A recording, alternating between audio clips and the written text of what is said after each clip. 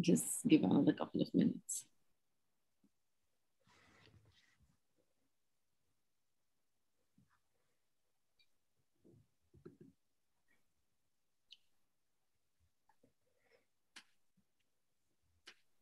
All right.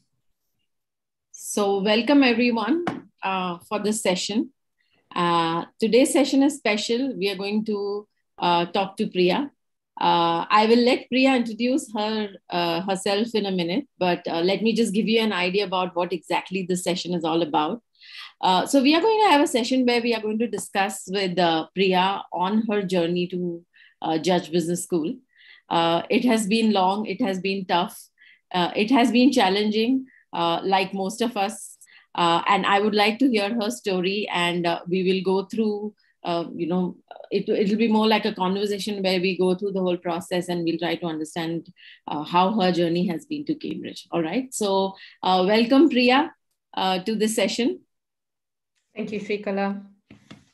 All right. So before we get started, customary if all of us, uh, any uh, whoever is joining this session, if you could just type in where you're joining from, uh, just on the chat window, it'll help us understand where all and who all have reached out to us uh, through all different modes. So it'll be great if you could just put down on the chat windows. Okay, there's someone from An- Anil from Bangalore. Uh, welcome, Anil. Just type on the chat window. Okay, there's someone from Hyderabad. Hi, Bhuvan. Wow, Ghana, Kolkata, Dubai, Moria, Hyderabad. Interesting. Okay, there's someone from Kolkata again, Indore, Bangalore, great. So, welcome everyone, and thank you so much for joining us on a nice uh, Saturday evening. Um, so, all right. So, before we get started, let me just quickly introduce myself. Hi, I'm Shrikala. I'm one of the co-founders of Crackverbal. Uh, I spent my uh, first half of my career working for HP uh, in the engineering team, and um, my, which is the second phase of my life, is where uh, I have uh, managed the Crackverbal business uh, literally from scratch and uh, you know focused on growing this to what we are today. Uh, i'm also part of the Cherie blair foundation where i help women entrepreneurs and i've also been isb goldman sachs uh, one of the women um, entrepreneurs right? So i'm a fellow of that program too. Uh, with that i would like to introduce priya. Hi priya. If you could just quickly give us a short introduction before i ask you more uh, in depth if you could just tell us a little bit about yourself too I think everyone here can already read what's on the slide. Um, what I can tell you about myself is I've had a very long journey um, starting from Bangalore. I've seen some people here are from Bangalore, so hello to my hometown. And um, I came from Bangalore to Germany, and uh, one of the maybe most tedious parts of my rather long journey has been the entire MBA admission process. So I'm here to talk to you about that and maybe help you navigate your own thoughts and your own um, your own. Uh, questions about it. Um, other than that, I I work as um, as an agile uh, as a, as an agile coach and a portfolio manager, and um, spent about ten years um, helping large programs, large transformation programs, uh, mostly in Europe. Um, kind of navigate through their process of transformation and supporting everything that needs to be done in the human side of business to deal with transformation. So that's sort of my specialization. Interesting, interesting. So, yeah, waiting to hear more from you, Priya. So, before we get started, I will just give you a quick introduction about uh, Crackverbal and what we do. Uh, so, we basically help students with uh, GMAT preparation as well as the entire admissions process. Um, a couple of people who have we been so we've been lucky to have uh, people like Priya, profiles like Priya to work with because it just uh, you know, it, the whole process is so interesting for us uh, when we work with such profiles. So we have people from the finance background, we have people from technology background, people from, you know, people who are working with Aayog or in a completely social entrepreneurship kind of a background. So it's always very interesting. Some uh, some of the students who uh, cracked their GMAT as well as got into top schools. Um, we have a complete application process where we go through uh, from scratch, from understanding uh, what it takes to get into an MBA, to helping you select the schools, uh, to helping you with your essays, and what, what you know going through the entire process of everything that is important as part of the application. So uh, we have a separate team that works with that. We work with mentors who are from top schools uh, who have been there done that who understand what it takes to get into a top school too right? So um, that's how uh, uh intro, intro to few of our mentors um, who are part of this. So we have mentors from all top schools uh, from India, from US, from UK, from Canada, from Australia, from you know Asian schools too, and UK schools too. So um, apart from that, here is a quick uh, overview of what all we help with, specifically GMAT and admissions. So if you're looking at any help with respect to GMAT or admissions, please reach out to us. All right. All right. So um, let me get back to what we actually wanted to focus on today uh, which is what exactly takes what what it takes to get into one of the top schools in the world right? So i will just shut my uh, share now. I don't need that anymore. So before we get started thank you so much priya. Um, uh, just tell us a little bit about more about your career. So uh, I, I remember talking to you and you mentioned you've done your master's uh, in Germany, and that's where your, uh, you know, before your bachelor's, did you, after your bachelor's, did you work in India or did you directly go for your master's? Maybe we can pick from there. Um, so I um, I come from a family that has a family business. So after my bachelor's, I did work with my father um, in our family business for a year uh, mm-hmm. which gave me enough time to um, identify where I wanted to do my master's, what I wanted to do for my master's. So I spent about a year working in um, in India, and since it was a family business, it was already a lot of decision planning uh, work. It wasn't very operative, um, to say the least. Mm-hmm. Uh, after which I, um, yeah, it took me about a year, and then I moved to Germany. All right, all right. So you moved to Germany for your master's, right? Yes. Okay. Okay. The plan was to do my master's and come back and take over the family business. Okay. Okay. So, but then instead you pursued your career in Germany for almost eight years? Six? I did 10, 10 years, 10 years, um, because I started working uh, pretty much as soon as I got here. Uh, mm. I think my first semester, I did, uh, I did focus on getting used to European winters, which means four hours of sunlight. Um, after which, once I had a rhythm of what life in Europe would be like, I already started working after my first semester. So it was a good 10 years of working in Germany. Right, right. So, um, you know, when you're already going through this entire process, your career also has a good career progression. Mm-hmm. Uh, and you know you're doing what you like you're seeing the results. Um, uh, you know even in terms of your career progression it has been uh, quite interesting especially in germany. So maybe if you could you know throw some light on that aspect of your profile. Um, so i think um, the realization started when i decided while i was in germany that i wouldn't go back. Mm-hmm. the realization that i shouldn't make a plan uh, because everything just changes so fast. Uh, I changed so fast. Uh, I grew up in a different environment. I grew up with a different set of values. Um, and uh, I moved somewhere else where things were changing much faster. I liked it a lot more than I had assumed I would. Mm-hmm. Um, and I also figured for the sort of person I was, um, that the way things were done in Germany just fit me better. Mm. Uh, so I did also uh, spend a good amount of time in London, uh, where I did see that between the choice to stay back in London and come back to Hamburg in Germany, I decided to come back to Germany because I just fit better in the culture. So, uh, keeping that in mind, I also decided that having a background in mechanical engineering and a master's in production management, I needed to stay very, very flexible and agile because this was before the time when digital transformation was a thing. Mm. And I also didn't want to go into pure management and strategy consulting because I truly enjoy industries. I, I enjoy machines and industries. So I had to find a niche and uh, I went from one client to another, um, collected my experience, and then decided to be an organization coach because um, I think the skill that I developed over the 10 years was to say, there is no one size fits all there is no expertise um, the only skill i have is to go in to understand what needs to be done you know and give them a solution that's best suited for them and uh, I think I just moved from one industry to another. Uh, over the 10 years, I worked uh, in the nonprofit sector. I worked uh, for the aerospace and defense sector. I worked for the semiconductor in- industry. And right now I'm, I work for an industrial, industrial company that uh, produces logistics um, machinery as well as logistics software solutions. I've moved into logistics now. Um, but at the end of the day, I do the same thing. I coach the organizations to deal with transformation. All right. So when you say coach the organization to deal with transformation, which is across industries, uh, what is is there a particular uh, kind of problem like how you have in consulting, right? Is it like an operational problem that you're solving, or uh, is it a program uh, that you help them take through, or what exactly is is what you mean by um, uh, you know as an organization coach? Um, I think my role would be a mix of both uh, portfolio management. So, um, what do you want to do? Um, where do you want to spend your money on? Mm.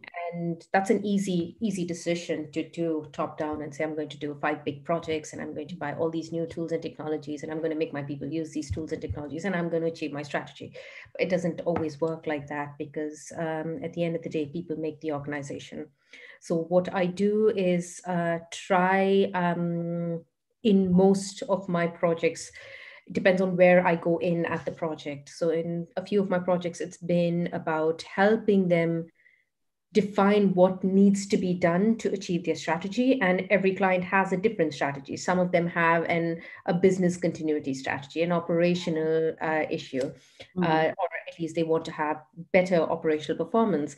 Uh, some of them have a market strategy and a few of them have a sustainability strategy right? Mm-hmm. and they're all different strategies. So depending on where i go in to support them i either help them understand how to spend their money to achieve the strategy or in a lot of places there are already large programs being done to achieve the strategy that has this domino effect cascading down into the organizations.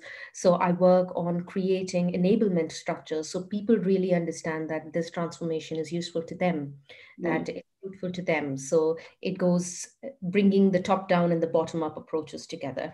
So um, I've done both, and I've also done end to end on one of my clients. Um, changing the strategy and building up the organization to meet the new strategy. It really depends on where you go in as as a coach or a portfolio manager. Right, interesting. So, uh, ten years of experience, um, you know, already doing uh, things which focus on strategy, which is typically, you know, uh, like a post MBA kind of roles that you get into, right? So, why was the need of looking at doing an MBA? And uh, when you were actually thinking about it, especially with so much of work experience, what was going on in your mind that why did you want to shake things up and uh, you know suddenly uh, you know start studying for your gmat and you know look at spending one year uh, you know uh, doing a mba program? Why was that thought and why did that come to your mind? That's a great question, and I've gotten very good at answering that question. I must say, I'm sure. Uh, because uh, I think um, both my employers have asked me this question, and uh, a lot of people that I spoke to, in fact, both the interviewers I spoke to at both the schools I had applied to told me there is no way you will graduate from an MBA and get the salary you get at the moment. Why do you want to do an MBA?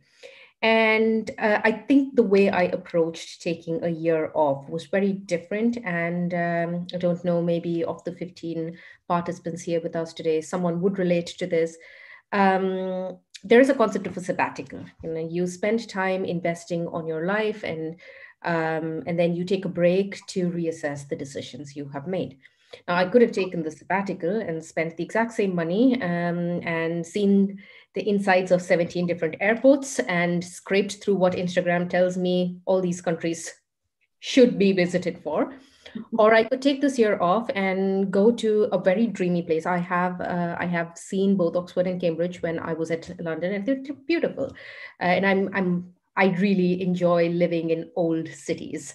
Um, and instead of going to all these places, just spend a year um, absorbing and you know um, growing myself with people from all these different places because places are great. Tourism is great. Being a tourist being a traveler that's great. But what really makes a place special are the people. And if the best minds from all these countries are going to go into one place it's like a one year long conference for me where I can learn from people. And I have gotten very, very good at understanding context and providing solutions. But what I don't know is how would someone else solve the same problem? So for me, the MBA, as much as the MBA is about, you know, getting getting to hear some of the wisest people talk and be my professors i think for me it's about getting to mingle with my cohort who are some of the wisest people who possibly are there and adding an extra dimension to my perspective. So i think that's why i decided to take this year off. It's an investment i'm making on myself. Right right. That's that's that's beautiful. Uh, you know more from a perspective of uh, you know the real insight being why you would really want to do an mba uh, yeah. Uh, if you had to you know the same thing when we actually translate on the essays right? We have to talk about more from a professional perspective also that what are the roles uh, what are the roles that you're looking at doing which will help you do whatever you want to do in that one year or mm-hmm. uh, enable you to do uh, whatever you want to do after that one year? So what was what was your story behind saying that this is what i feel i don't have right now and because of which i really want to do an mba what was your pitch uh, more from that perspective I mean, I think it was a two step decision process. So the first step was to say, I need to take a year off, take a break, because I have been working very hard the past 10 years and do something worthwhile that will help me enhance myself. So I made that decision based on the fact that, hey, this would be an excellent learning experience. Mm-hmm. But I think I also need to get something concrete out of this journey, right? It shouldn't just be, I went there and I did this. I need to say, hey, along with this excellent, rather abstract learning journey, I want to focus on one thing. And I think where I have struggled in the past, where I've had, I've personally been very interested in, but I've also struggled in, say, quantifying in organizational decisions and portfolios, is the entire aspect of putting in sustainability. Because when you come from building strategy, which is usually market growth, it's usually R&D, it's design, it's business continuity, you can translate every decision you make into a dollar value. And then you compare which one takes the least dollars and gives the most dollars. But sustainability over there ends up having a very, um, it can't be quantified until it goes wrong. So you need to talk about if I don't do this, this is what it would cost me, other than things that are clearly put in compliances and rules. And both the universities that I end up, so this is the choosing of which university I wanted to go. I wanted to go to two universities that were working very close closely with the EU and that really look into sustainability, not just from a social innovation people perspective, but also from design circularity and other science, uh, scientific and um, science-based targets for sustainability. That's where I was lacking as a portfolio manager, and I was completely dependent on people who could do it. And I figured after I decided to take my sabbatical, my selection of the two universities depended on what can I, what is missing, or what's my least, um, let's say, least um, strong um, skill set at the moment? What can I get more out of? And I think that's how I decided on the two schools and um, where I could possibly pivot after my MBA. Right, right. Very interesting. You know, you said that, Priya, because uh, when you know most of uh, you know who are applying this year and the process that they are going through right now is always this confusion that uh, you know what is it that I should say which would be something that is accepted or looks impressive to the admission committee right? And that is typically the approach most people look at and think that that is the approach they should be focusing on. Rather uh, you know it has to be because there is so much competition i think number one. Number two uh, because there are so many opportunities available more in each kind of work that you're looking at right because if you're just looking at technology there is a plethora of opportunities only in technology itself.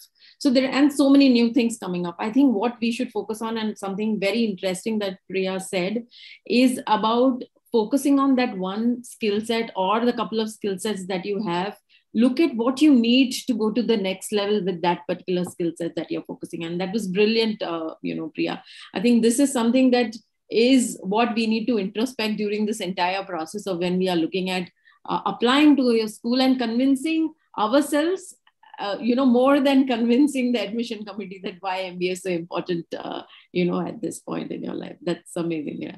Exactly. I think it's a fun fact because um, a good friend of mine started applying for the MBA with me. Uh, so we know each other from high school in India. We went to the same KV in India, and she's um, she's here in Germany now. And um, we found each other in one of these Forté Foundation calls, mm-hmm. and we had a chat. And at I think at one point she realized that she will always be in an expert path, and taking a break to do an MBA was not the right decision for her uh, she said, I'd much rather work for two more years and do a PhD after, right? So it really depends on what do you want to do. And um, I think that's also what's beautiful about the way the MBA process is is uh, structured. Uh, I don't, I can't speak for other schools. I applied to two. It makes you introspect at every level. So even if you have a fantastic GMAT score, uh, and even if you've gone through your first uh, interview, I think there's a point where you meet the first members of your cohort. You can still say, maybe this is not right for me, and you know, take a step back. Yeah yeah yeah you know coming to the point where you mentioned right the whole gmat perspective um, uh, when we talk about gmat and we you know talk about why gmat is such an important test uh, you know for an mba we always tell them that's almost like an mba in some sense right because every aspect of it is actually training you to become a better you know leader a better manager right uh, with work how did you manage gmat and what was your gmat story uh, how long how how good how difficult was it for you um, well, I think uh, the verbal was rather easy. So I, uh, I think my the very first test practice I got and the final verbal score I got were pretty much the same. The I went skimmed through the verbal a lot because my job is about uh, reading maps or uh, you know seeing presentations the entire day making decisions or reading content or communicating content. The verbal was very easy but i must say um, i did struggle a bit with the um, with the quantitative parts of the assessment. Uh, not because, because even though i do enjoy engineering a lot um, i've been out of school for a very long time. Mm. and um, getting being able to solve those things um, within the given time and in an online uh, environment uh, was something very new to me. Um, so one, I I struggled with getting back into a schedule because I did I do work about 50 hours um, 50 hours a week with my day job and my nonprofit. So um, it was hard for me to take some time off for it. Mm. Um, I struggled with that for the first two months, but then I came up with this golden rule, which I kind of followed even after, and it's helped me do my time management so well. I only do three things a day. So if it's a day that I train for my marathon, uh, I don't study for GMAT. Or if it's a day I'm studying for my GMAT, I don't do training intense. If it's a working day, then I kind of don't do uh, GMAT studies or something like that. So it helped me um, really prioritize. I kind of used my own portfolio management skills there. Um, and I did get into a. Um, but what I also allowed myself to do a lot during my GMAT was to contemplate how important my GMAT is. And I cannot tell you enough. And I know all the participants are also every evening after before you go to bed. I know you're opening your laptops and you're saying, um, has anyone with a 650 GMAT score gotten into Harvard? You have Googled that. Okay. Do not lie to yourself and do not lie to us. You have done that. And I know you end up getting a very philosophical answer on some YouTube video or by someone who actually got a 790 and got into Harvard saying, uh, oh, the GMAT is just a part of your application. Don't beat yourself about it but here's what and it, it used to annoy me. It was like can someone just honestly tell me that i think there was just this one person who said they got into oxford with a 650 on gmat but that person also had an olympic silver medal for rowing that he did not uh, mention. But um, it just makes you feel like they're lying to you. But the truth is they're saying the truth. It's only a part of your application and uh, I think at this point I have to mention Kirtana, who was uh, my first uh, my first contact at CV. Uh, when we got in touch, I told her, "Hey, I, I got a 690 in GMAT, and I'm not proud of it. I'm not ashamed of it either." Um, and I told her, "Hey, I have a 690 in my GMAT. Should I take my GMAT again?" And she just she just looked at me. She said, you have 10 years of work experience, right? Whether you have a 650 or a 690 or a 750, unless you have an 800 in your GMAT, your GMAT's not going to make a, mistake, a, a difference, right? So there's no way you're going to write your GMAT again in one month and get a 750 instead of a 690. And with the kind of profile you have, a 750 and a 690 would be the same, right? Unless you're going to get an 800 on GMAT, don't write it again. That was very good advice because I asked both my interviewers, both at Oxford and Cambridge, hey, do you want to ask me something about my GMAT? And they said, no, we don't care about your GMAT. So that's all I would have to tell you. Um, I think you need to know where you are at your journey. You need to know if you are going to go into your MBA trying to prove to them that you have the capability to process information, manage time, and your GMAT would be a reflection of that. But if you are one of those applicants who's applying with a lot of experience and actual results in your CV, um, they already know that you're bringing something to the program. It's a part of it. It still helps you get back into the whole study mode, which you will be doing for one or two years, depending on the program you go to. Don't take it easily, but also focus on other aspects of your application. Focus on what makes you different. The GMAT is still the elephant, the monkey, and the snake being assessed on how well they climb a tree. Tell mm-hmm. them what is the special skill you have to climb the tree, or what's the machine that you have invented that helps climbing trees easily, or what's the most beautiful tree you have climbed in your life. Mm-hmm. That is story that differentiates you from other people. And I'm sorry, I'm telling you the same philosophical thing you will hear on your Google searches, but it is the truth. And I'm saying it out of experience. Right. No, I completely understand. I, I resonate with so many people. In fact, I was speaking to someone today and, you know, he said, uh, well, I have a 670, but, you know, I really don't want to take it again. So I completely understand where they are coming from. And I think the entire focus everyone should have is give it your best shot. And I think the day you get into the test center to take the test, there should be only one thing on your mind, which is I gave my best, right? So, and then whatever it is, uh, you know, we go with that, but with the assumption that, yes, that could be one small uh, you know, small tiny red flag in your entire application if it's a very low score. But then you go with the confidence that if your profile is good enough and if you have other things on your profile that you could really highlight, you know, focus more on that rather than fretting too much on the GMAT aspect, right? So, uh, great advice again. Uh, great takeaway on that. I, I, should I should thank Kirtana was her advice, but I'm just following the. I'm just sending out the wise words I've heard. right. Uh, so you you while you were talking about uh, this you also spoke about your non-profit thing right? So how long have you been doing that? And uh, i remember that you know these were some stories that you wanted to tell through your essays to uh, more around what you are envisioning doing and why you want to be part of this entire process. Uh, tell us a little bit about your um, uh, you know ngo experience and how long have you been doing that and what is the cause that you're focusing on um, I think um, when someone is um, when someone's at an organizational level where you make a decision today and you see the results of that decision in three or four years, and by then the world has changed and your decision is not relevant anymore, it can get rather frustrating to say, I haven't really made any change. And there are a lot of burning issues where you can um, where you can change small things every day. You can make a difference every day and uh, by my experience my my journey itself started with uh, an actual um, a, another smaller sabbatical i had taken to and gone to kenya where i was working on an actual program. I was working but because of some political troubles in kenya at the time um, we were the project was cancelled and we were asked to go back home.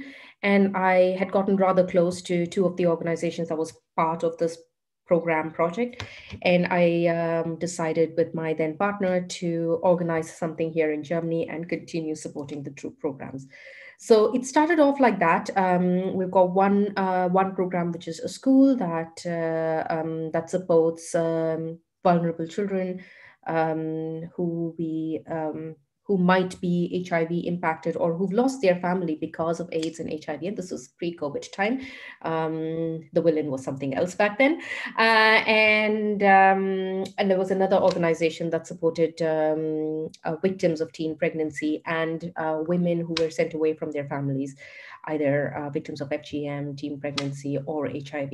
Uh, we had a capacity building program to help them set up their own social enterprise, and uh, and a lot of their children were in the school. So I think the two programs uh, went so hand. When when you say supporting, uh, are you like helping them with funds, or what, what do you do when it comes to when you say supporting the program? So I think helping them with funds is a part of it. You always need some funds to run a nonprofit. Um, but you can help them with funds and then they would expect to be helped with funds for the rest of their lives or you can empower them so they can get their own funds. So we uh, we had a capacity building program. We started off rather small as a capacity building program. Um, we tied up with the coca-cola foundation and um, a few other organizations a few other local organizations. Sorry can you hear me? Yeah yeah that was my auto. Um, a few other local organizations uh, to uh, teach them how to set up a business, how to plan their finances, um, and then of course generally safe sex practices, etc. Uh, and then we give them a little funding, um, a little funding push to maybe have their own hair braiding uh, business or to have their own jewelry making business. Mm. Um, and when more funds came in, we brought in another sub project, which, which was called Wise, where we taught them tailoring and we bought a few industrial tailoring machines mm. and um, we got large orders for safari clothes or uniforms and uh, provided them employment. So we kind of scaled it up to an organization. How, how long did you, uh, what, what have you been doing this? So I've been doing this since uh, October 2015, October, November 2015. Mm-hmm. Um, and now with uh, with the MBA coming up and um, and that I wouldn't be able to actively support uh, any of the nonprofits that I work with at the moment, I have found partners. So this March, I was in Kenya and we found partners cent- uh, who are centralized, who are in Nairobi, who will take it over like um, an inner circle that can work autonomously at the moment. Awesome. And uh, during time of COVID, we collaborated with the AND Foundation, which is a 501c based um, organization. And um, I support them as part of their advisory board and also help them approach other um, NGOs and projects where online schooling can be provided because not all, all children can simply switch to online schooling because there's COVID. So we were doing that during COVID. So this was uh, all part of, uh, you know, you were doing it in parallel along with your full-time job. Oh, yes. Yes. So I had a 40, 40 hour full-time job where I was a digital transformation coach. Yes. Awesome. Awesome. So, uh, you know, you and went. And I studied for my GMAT with it. Yeah. and things changed. Indeed. Yeah. So, uh, you know, now, you know, after the whole GMAT perspective, when did you really decide that, okay, I don't want to focus, uh, you know, after you decided that uh, okay, GMAT is what you have, you want to apply with the 690. Uh, you mm-hmm. mentioned that you were very clear about the kind of schools you wanted to apply to. Uh, you specifically focused on UK, you specifically focused on Oxford and Cambridge. Uh, one, because, you know, it aligned with the vision that you had in terms of uh, you know the kind of uh, you know focus you wanted to have in future in terms of the kind of roles or you know whatever industry you would want to work on. Uh, wh- what is the other kind of research that you did? Did you actually speak to alums because um, one very important part of this entire mba journey is one to you know be very clear about what you want to do which is planning out you know what you want to do next. Uh, making sure that that decision is uh, enough for the investment that you get to make, uh, you have to make for that particular course. Uh, the second aspect of it is also uh, more from a perspective that um, the other aspects, right? That is this geography the right place you want to be, or why not US, or why not you know any other geography? Why why were you so focused on UK? And what are the things that you did to research more from a networking perspective or alums or uh, you know talking to the schools what is the groundwork that you felt you needed to do to clearly finalize that these are the two schools i wanted to get to um so I started with the geography. Again, it was an, an elimination process. I started with the geography. Mm. Um, I uh, my life is in Europe. I will always be in Europe, and if if I ever had to move and work somewhere else, it'd probably be in the East. I'd like to explore Japan a little more. Uh, I would uh, I would enjoy working in the US to understand their work culture. I've had a few teams uh, in the US that I worked with in the past, but never really in person. But uh, I did not really want an education from the United States. So, mm. and also spending two years when I have 10 years of experience was a, a bit of an overkill. Um, that was a very lavish investment on myself. So, um, I think the time was one, one major reason. And that left me with the option of, uh, of France, um, Spain, Italy, and um, the UK. And uh, since I am learning Italian now, I think Bocconi was a choice. But again, I did not want to live in Milan. Um, and uh, I, I personally, since I have lived in Europe for such a long time, would not want to go to a European country without having learned the language.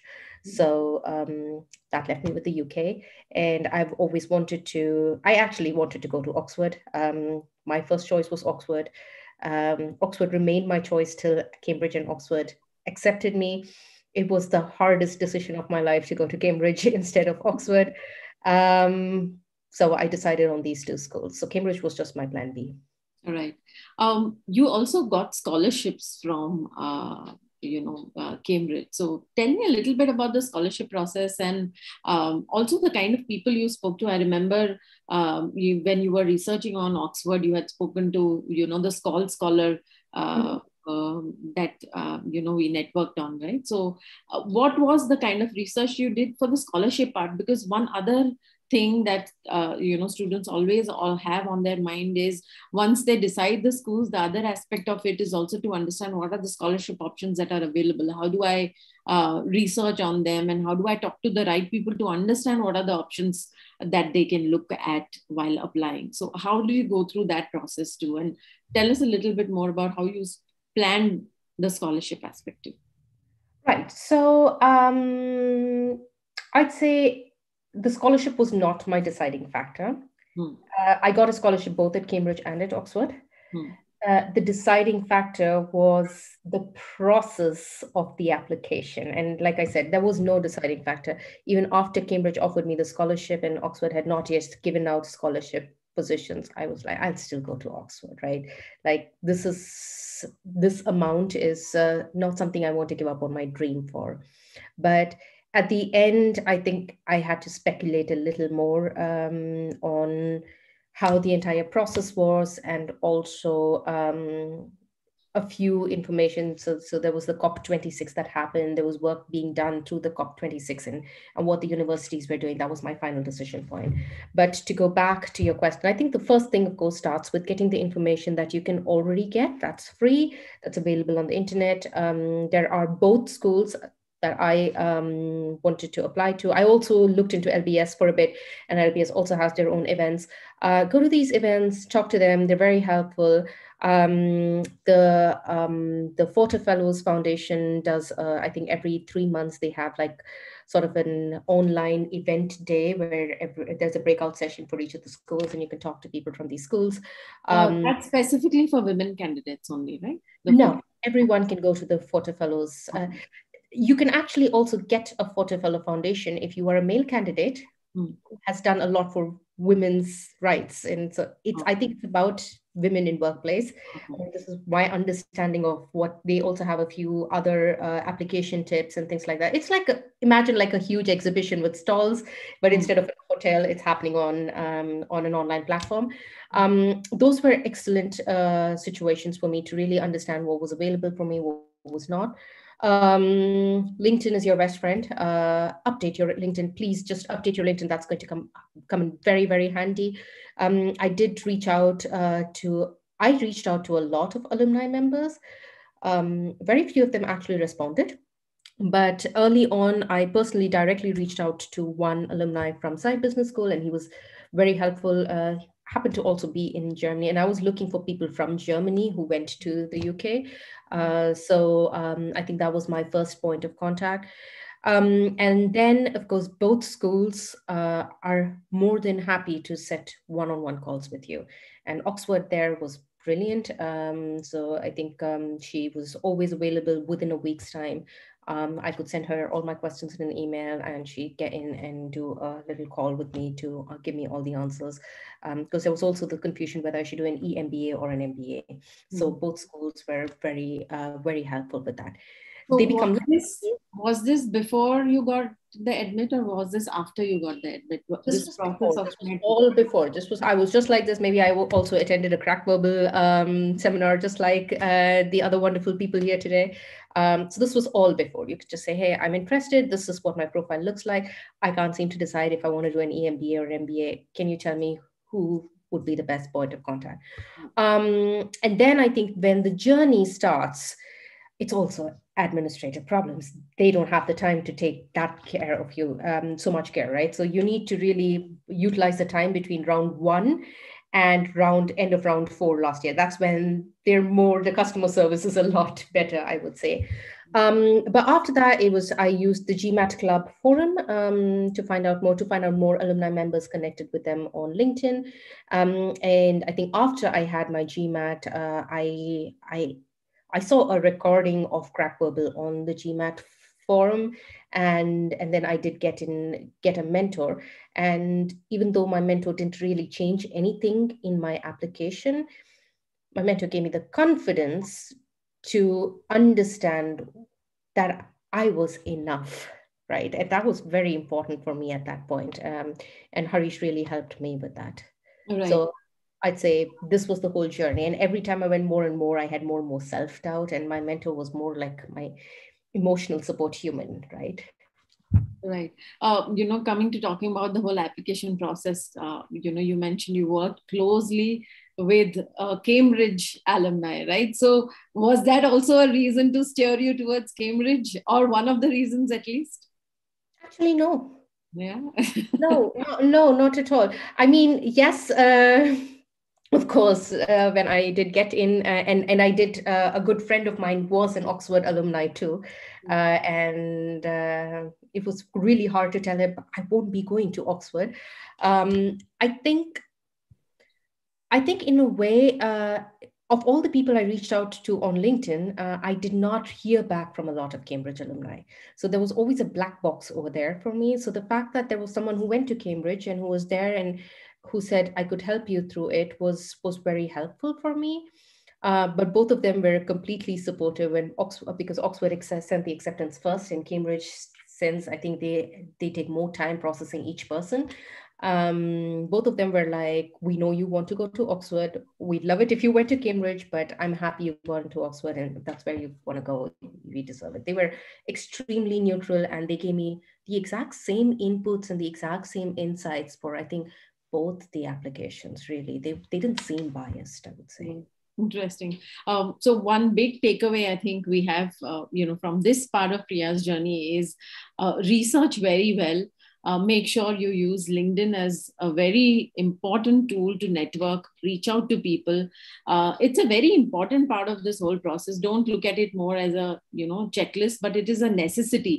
Uh, more because i think when you have that kind of research and insight from a particular school, you're more confident uh, about not only yourself, but more about the school. And I think those tiny bits of insights that you get from these alums or from these sessions that we have um, actually put in those words in your application right? So that your application also doesn't look very shallow and very bookish and uh, because you have to understand that when you're applying to top schools it has to have that kind of an insight. It has to uh, talk about genuinely about who you are and where you come from and what you really want to do. I think uh, that's a very important point and uh, all these uh, aspects are a very important part of your research which is important for you to start you know as soon as possible. Because if you are looking at r1 as your deadline you have to start you know today to get started with that research um, so that you are more clear that these are the kind of schools you want to apply and this is what your future looks like for you right? So uh, great uh, you know pointer on that too. Uh, how was the um, uh, so what i understand also from uh, you know the way you articulate is that I don't think essays was too much of a problem, more from a writing perspective. Uh, I'm sure you said verbal always was your strength too. So I think uh, more from that perspective, also uh, things were fine. Um, you had the right mentor to you know hear you out and give you the right inputs about what to do next what were the kind of uh, if if i had to ask you that uh, there were so many things that you did not know uh, when you started the entire process uh, if you have to give some advice to your uh, you know uh, self a year before what what what would be the kind of advice you give them more from the journey perspective as an applicant? What are the things uh, you should have been aware of uh, before you got started which you didn't know?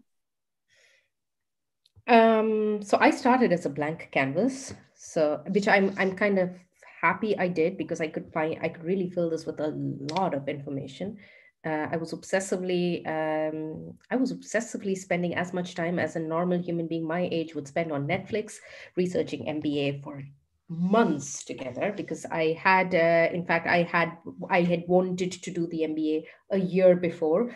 Uh, I did all my research and then I continued doing a little bit of research in my own slow pace, and then I applied a year later.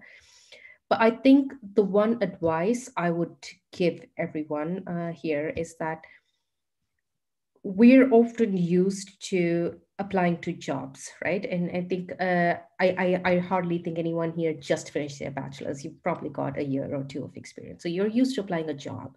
When you apply to a job, um, you talk to them about why they need to hire you, right?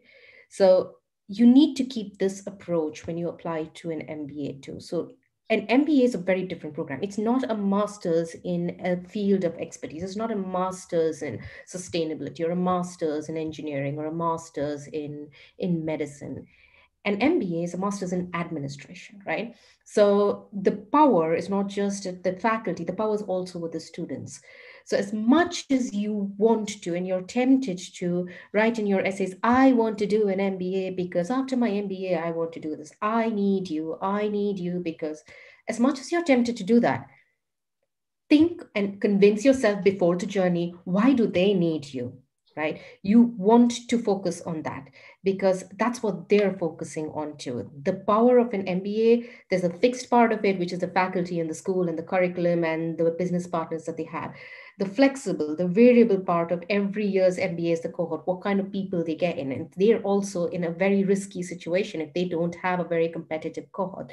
So focus as much on why do they need you? What's in you that differentiates you from other people that helps you build the confidence. And I will tell you this when the questions are out for the application, you will get the, uh, the instant you read the question for the very first time, don't sleep over it.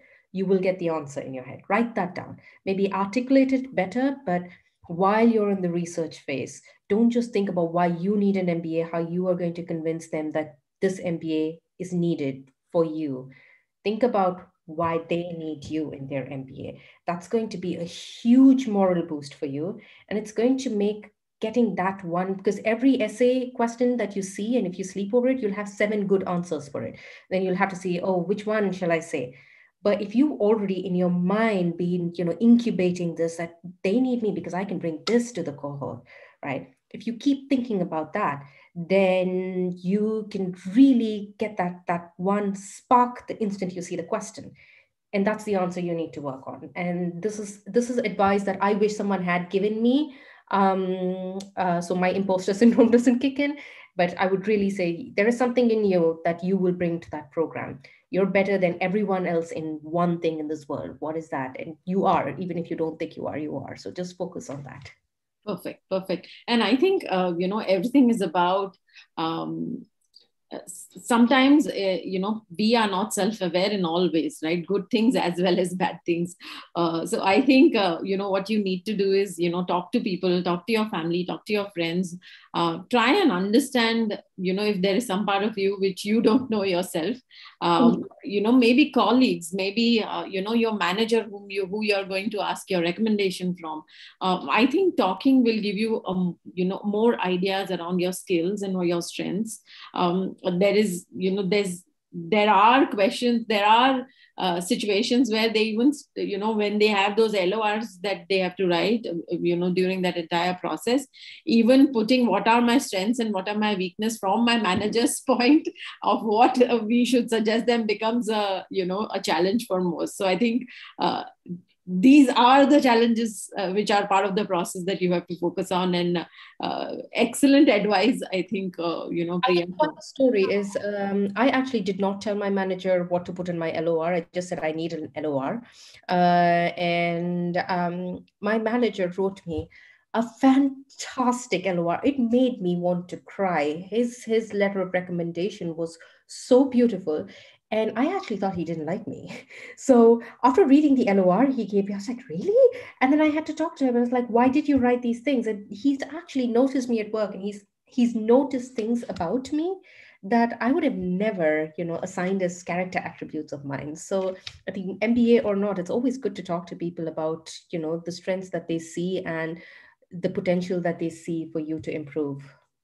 Right. So your your boss was a, a, a German um, uh, Austrian, actually. Awesome. Okay. Okay. So, yeah, so I think you know that is one challenge that we as Indians face more from uh, that articulation skills do not come very easily, uh, you know, more from a recommendation perspective, and uh, that is why uh, you know for all the people who are attending this session today and going through this entire process, make sure that you prep your recommender too. That is also a very important part of the entire process.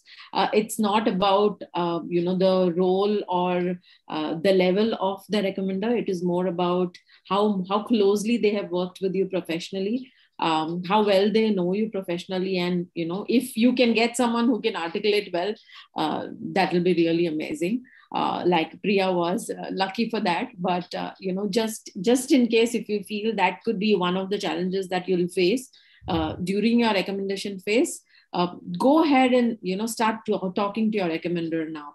Um, you know, start having that conversation and trying to understand that uh, you know what is it that they should be focusing on more on the strengths part or you know at least telling your side of the story if you think uh, things are not the way it should be right? So uh, it's very this is part of the preparation that you need to do as part of your application process. I think especially uh, something i'd like to add to that and i think especially something that might be a problem for uh, for candidates applying from India or any of the Commonwealth where you know the official language is English, is you cannot ask your manager explicitly to articulate better.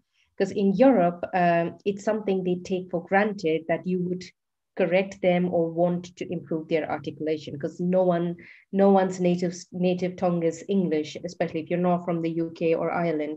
And, um, and, and for instance my uh, um, my manager did send it to one of our american colleagues or he did talk to another native speaker and work on it. And they don't consider it as an insult if you ask them to change some words or say hey that needs to be written differently.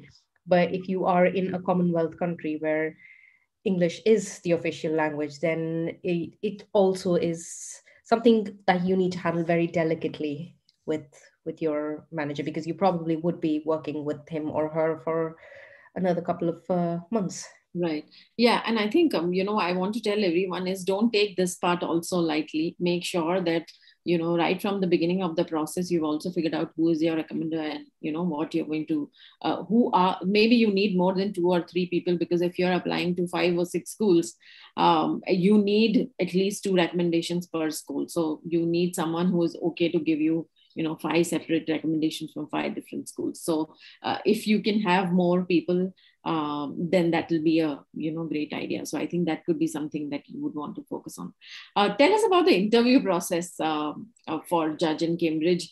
I know and you know i, I know there's a very different interview process. Uh, it, it involves not only the essays but you also have kira talent uh, videos uh, and plus the entire interview process is more uh, very uh, behavioral kind of a questions than too much about the standard interview questions that are asked. Uh, both Oxford and Cambridge follow that.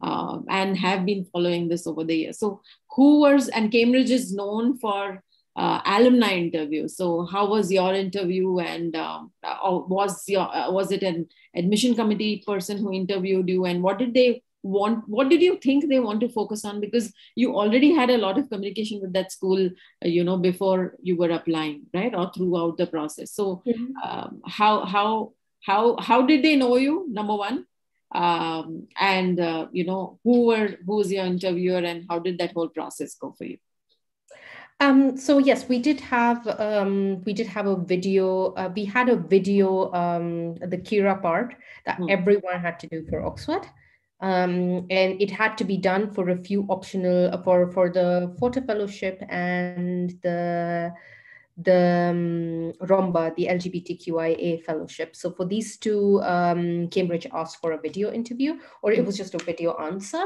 and Oxford had a video interview for every candidate. And Oxford has alumni and admissions committee doing interviews. Cambridge always has a faculty member. So it's the other way around. But um, and uh, at Oxford, I think uh, I had my interview with the head of admissions, David David David Fowler, um, David Fowler, David Bollum, and uh, I, I, forget his name now. Uh, and at Cambridge, it was Professor David Reiner, who I had been actually following very seriously, even before I knew he was my um, professor, uh, or he was the professor doing my interview. Because again, there was the whole COP26 and the whole discussion about carbon pricing and how do we put a price on carbon and stuff. So he's he's done some fantastic work in that area. So I've already read some papers of his. So when I saw his, just like I've read this name somewhere. Um, I think that was my first first point where I flickered, I could go to Cambridge, right? When I uh, when I had my interview. Um, so um, I was really really bad at both the video uh, interviews, um, and I think both of them uh, ended awkwardly with me on a pause with my mouth open. If that happens to you, you're not alone. I still got into both the schools, so don't worry, don't beat yourself about it. Um, I uh, I'd say it's just about seeing how you work under pressure, right? So again, work on you, work on your key, what makes you tick, so you can finish saying that in one line. So, and the strategy worked for me because it was a, I think it was a two minute talk that I had to give. And I kind of finished giving my key message or kind of the trailer in 30 seconds. So I knew even if I kept talking and the video rudely cut me off, that the big the big bang that I wanted to give was already there. And then I teetered down into, you know, filling the time with stuff. So that would be a good approach. If you're not sure, you can you can give that that fantastic finishing line in time. Mm-hmm. Um, other than that, I'd say just be honest in your interview. Don't prepare for your interview to, you know, just go through why are you doing your MBA? Why do you want to be here? Why you would like to go to this school? Um, don't learn it up. Be be natural. You don't need to have perfect English. The, the, the both the MBAs get people from all around the world, and no one's English is perfect, right? So don't try to rote memorize or just have. I think by now you would have written it in so many essays and spoken about it so many times with your mentors, or seen so many videos or practiced in front of the mirror or in front of your dog so many times. You know why you want to do these things. So keep it very organic, keep it very natural, and um, I think keep it easy. I cracked a lot of jokes with both of them. So we laughed a lot and I was I, I was just being myself. I was sarcastic. I made comments about the elections. I made comments about the COP26 that was happening. Um, just think of them as people like you um, sitting beside you on a train ride for 30 minutes and chit-chatting with you. Just don't don't take the interview seriously because you've had enough time. I mean, take the interview seriously, but don't freak out because you know why you're here, you know what you want, and you've had enough time writing about it, recording about it, practicing about it. So just go there and be yourself, I would say. All right, awesome. So I think confidence is the key over here. Uh, you know, focus is more around. So if if if at all you had not known about uh, or if you would have not read about these papers that your interviewer had written would you have gone back and researched on them you know more to emphasize that once you know who's going to be your interviewer uh, how much of research is important um, in fact uh, i knew so I think with Oxford, I didn't know at all who my interviewer would be. So I was, uh, we just had, I think I was on one of the first days. Uh, my interview was on one of the first days, and we had like a like an all hand pre interview call for the shortlisted candidates, like an informal get to know call. So that's when he was already leading that call. And um, when he walked in and I saw the name. I was like, ah, it's the guy who organized it. So I didn't really have much time with Oxford to know who my interviewer would be or what they would be. Um, I did know that he did come from an admissions committee, so I focused a little more on um, on yeah what I was expecting and what what I could bring to uh, bring to the MBA. Uh, and um, the partnerships and the sort of uh, companies that I'd already know uh, know the kind of companies they partnered with. So I pulled out some common threads that we could talk about. Uh, but if you don't know, and if someone, if it's an alumni member who is working in an industry sector that you know nothing about, that's also fine. Just be yourself. Um, in Cambridge, I think they they connected us to faculty members based on our post MBA goals. So since I said I wanted to do science-based target, I of course got a carbon pricing professor. Um, and they also let me know that it would be him almost at three days before my interview. So if you don't know your professor, if you don't happen to be someone who reads random science papers when you're bored, uh, don't worry about it. You'll know who your professor is, and the faculty pages are well updated, and you can see the work that they're doing and you don't need to read all these papers to impress them or anything but if you have nothing to do with it then just ask them hey you've written papers on this and i haven't read about this can you tell me encapsulate me if this is something i should be focusing on in my mba that's a great way to get the conversation yeah yeah or even end the conversation, right? It's, exactly. it's, it's, a great way to end the conversation too. Awesome, awesome. Yeah. So I think we've got some really, really great insights, Priya. Thank you so much for uh, on every aspect of the process. Uh, I think uh, you know your insights and your thought process is amazing. I think that uh, you know that shows uh, you know how much of effort you put into this entire process more importantly and uh, more from you know for the people who are listening. And um, i think uh, it's it's an evolution right? The whole process is so much of um, information at every point and you learn so many things right from your gmat which is you know number one thing that priya mentioned. Uh, don't fresh to fret too much about it. If you already have great things on your uh, profile just focus on that. Uh, you know the second aspect is having very clear thought process around your goal. Um, really trying to understand that don't go through any shortcuts or it's not about the essay. It's more about why you really want to spend that one year or two year for that program uh, and the third aspect is doing your research well, networking well. Um, as you would have known from this process, B schools do uh, respond or do help uh, if you have questions or queries about the school, even before you get in. Uh, it's all about the kind of interest you show. Uh, I remember Priya, you were also when we were talking the other day. Uh, you know, I think after your interview and when one after you got an admit, you mentioned that uh, they almost because you've been you had attended so many information sessions too, and you had been uh, corresponding with them over email. Uh, there was one part where they actually knew you uh, because you already uh, you know had been in corresponding the, for with them for so long right? So i think that also shows your interest to the school. See if you are really looking at applying to that school you're going all in right? You are completely committed and involved in that entire whole you know process which i think is extremely important uh, especially if you're looking at top schools. Uh, they do value that a lot uh, so, so more from uh, were you like an international candidate applying to UK, or since you already have uh, German citizenship, right? Um, uh, how, how, did that work? Was that or will that be completely different for Indian applicants? How how does that work? Um, I've heard, and I'm again, I'm just going to call it rumors because, like I said, I was, I have interacted with the admissions people in both the schools. Mm-hmm. Um, I've heard that the GMAT is a lot more competitive for Indians mm-hmm. uh, than it is for Europeans. Uh, but I don't think that actually makes a very big difference either. Again, I think what they want is what's the niche you are bringing with you. So you might hear things like that that say oh yeah the minimum the minimum uh, score cutoff for indians or for chinese or the chinese candidate. I've read this in so many forums that for the indians and chinese yeah you need at least a 700 that it needs to be with a 7 but if you're from europe you're still okay with a 600 i i don't think so because they're not going to reject you based on the GMAT score. So they're still going to, I think the five, I think 560 or no, 6, 620 is what they said. Both the schools said they would like to have. So if you have less than a 620, they might not look into your application. But um, if it's, um, if you have more than a 620, then they're still going to read your application, right? So I think the GMAT was the only thing that I thought that I read on the internet is might be different for the different um, different uh, countries. There are also some other things that I don't really understand. For instance, uh, with the German citizenship, German, English not being my language, I do not need any English proficiency for visa.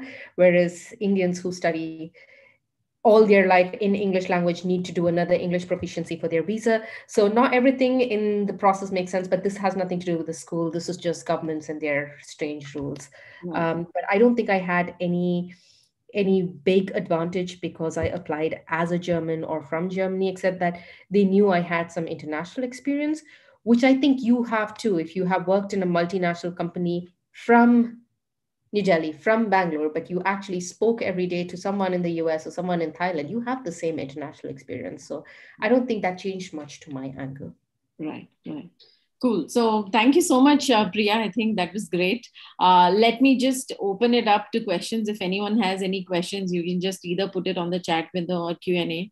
Uh, I'm already four minutes over time, so I would like to take questions if there are any quickly. I'll just wait.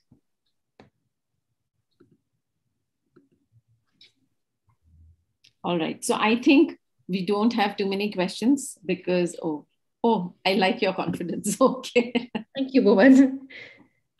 All right. So thank you so much, uh, Priya. I think uh, this is amazing. And, you know, for all aspirants over here, if you're looking at applying to top schools, your dream schools, put in all your, uh, you know, heart into it, the entire process go through it, talk to people, uh, reach out to Crackverbal. Uh, we would definitely love to help you in each and every part of your journey, whether it's GMAT or the application process. Any any final words of wisdom, Priya, and then we can call it a day. I think I wish you all the best of luck, uh, whether you get into your school of choice or whether you decide during your journey that your school of choice is completely different or whether you decide not to do your MBA um, this is some fantastic time. Just enjoy it. And even without an MBA, if you go through the application process, you will come out a lot smarter than you went into it with, and you'll come out with a lot more insight about yourself. So, so do it anyway, uh, irrespective of the outcome. You can always change your mind later. Right. Thank you so much. Uh, I think again, uh, you know, golden words. Thank you so much, Priya, and uh, thank you so much, everyone, uh, for giving us time on uh, on a nice Saturday evening where otherwise you could have, you know, binge watched Netflix or you know had a beer with your friend but uh, thank you so much. And i think this is uh, an amazing investment towards your next step uh, for an mba look keep looking forward to i mean we'll have a lot more sessions like this. So please subscribe to us on youtube and you know make sure you uh, you know listen to us and keep track of our emails of these amazing sessions. Thank you priya once again. Um, all the best. for these amazing words. That's so kind of you. Thank you so much. And uh, th- all the best for your uh, next phase of your life. I would definitely love to reach out to you after your MBA, maybe another session, uh, you know, trying to more about how your journey has been. I, I, I would really love to hear from you again. Oh, I am so excited. I'm just packing up my last boxes. And in three months, not three months, uh, in a few weeks, I will be gone to Cambridge. And I am so excited. It's all I can think about right now. So. And uh, thank you so much, Shikala, for, for organizing this. Thank you so much. Thank you so much, everyone. Have a nice Saturday.